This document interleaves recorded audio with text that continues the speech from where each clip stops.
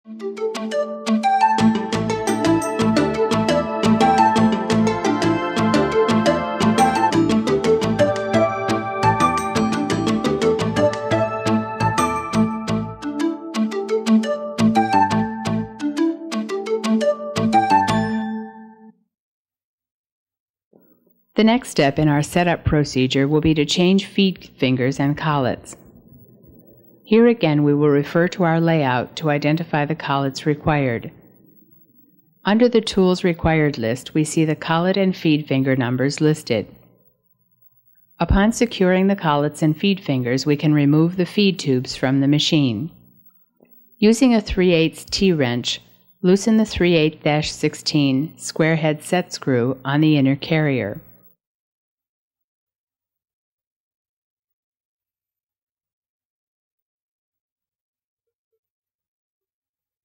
Push the stock reel tubes back approximately 2 feet, allowing clearance for feed tube removal. Disengage the chuck lever roll throwout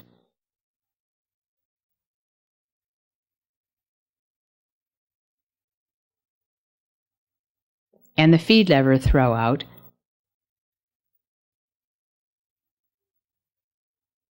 and manually open the collet in the fifth position.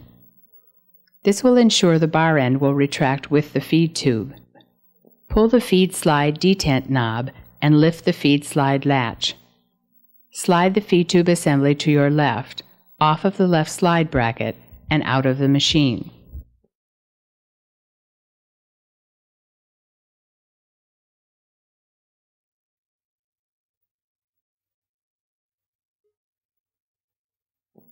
Repeat this procedure for all five work spindles. Jog the machine to half index.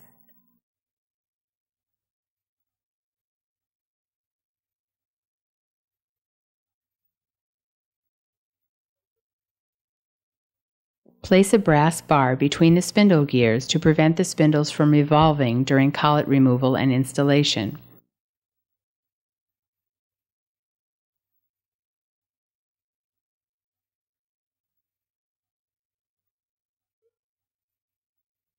Insert the chuck wrench into the inner spindle until the groove on the chuck wrench is flush with the end of the inner spindle. Slowly rotate the chuck wrench while applying pressure on the chuck wrench pusher. When you feel the pusher snap forward, the wrench drive pins have engaged with the mating holes in the collet and removal can begin. Put the cam lever handle into one of the four holes in the chuck wrench knurled collar. Pull a handle toward the front of the machine until the threads break loose. Continue to loosen the collet by hand until the threads are no longer engaged and remove the collet through the tooling area. Repeat this process for the remaining four collets.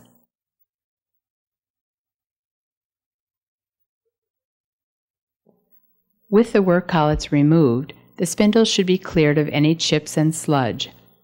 This is done using an OSHA approved solvent such as Varsol and a 2 inch boiler brush. Saturate this brush with solvent and run it through the entire length of the spindle until any debris has been removed. Repeat this procedure for all five work spindles.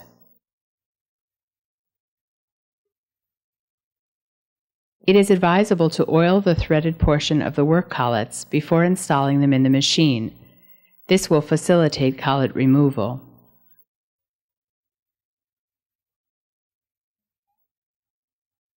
To install the new collets, with the machine in half index, slide the chuck wrench through the inner spindle until it extends out the end of the work spindle, approximately 3 inches.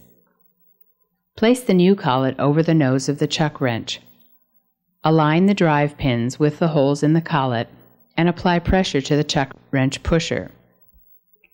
Once the drive pins have engaged with the collet, draw the collet into the spindle and screw the collet into the inner spindle by turning the chuck wrench counterclockwise or toward the rear of the machine. Once the collet is hand tight, use the cam lever handle to seat the collet.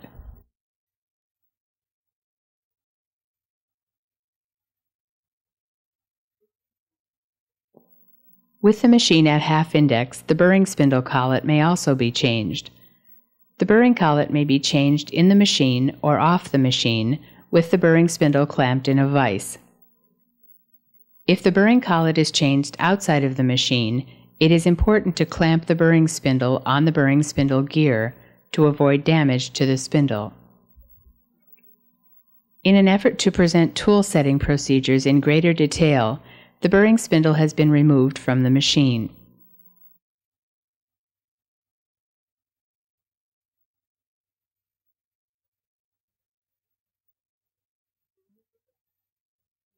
Remove the brass pin from the spindle gears before attempting to jog the machine.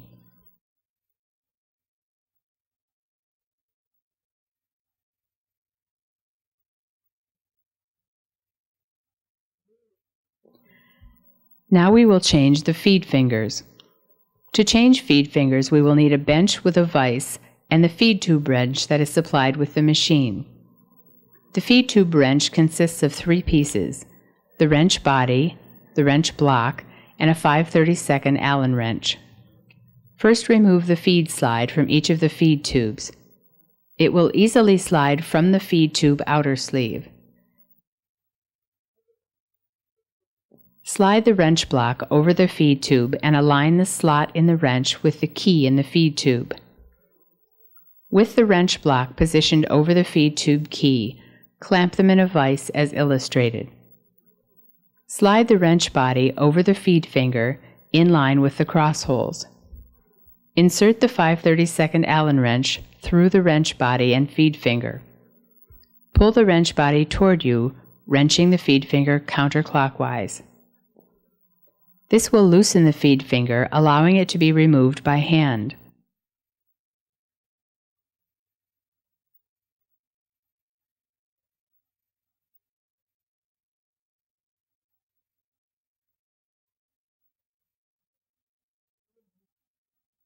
Install the new feed finger, threading it into the feed tube and tightening it with the wrench. Repeat this process for the remaining four feed tubes. The feed tubes are now ready for installation in the machine. Each feed tube outer sleeve is marked with a position number, 1 through 5. The mating feed slide is also marked. Assemble the mating feed slides and tube assemblies by sliding the feed slide into the slot on the feed tube outer sleeve. Please note a change in design. The pin locking method for keeping the sleeve from revolving around the slide clevis has been discontinued. Pins may be removed from all existing slides of this type. Each of the five chuck slides and the rails on the left slide bracket are also marked with a position number 1 through 5. Insert the feed tube assembly into its corresponding spindle.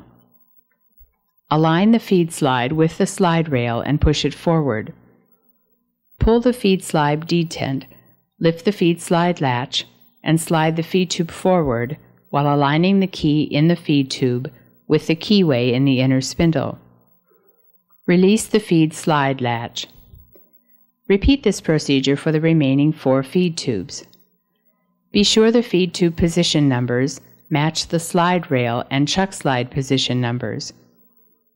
Once the feed tubes have been installed, push the stock carrier back into position.